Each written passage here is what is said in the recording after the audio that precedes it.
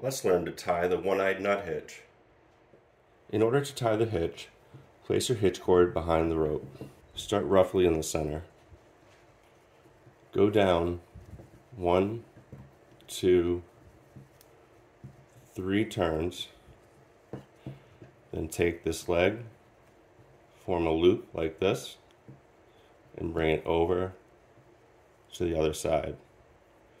Take this leg, bring it over, and then finally take this leg, bring it around and through the opening. Next, dress and set the knot.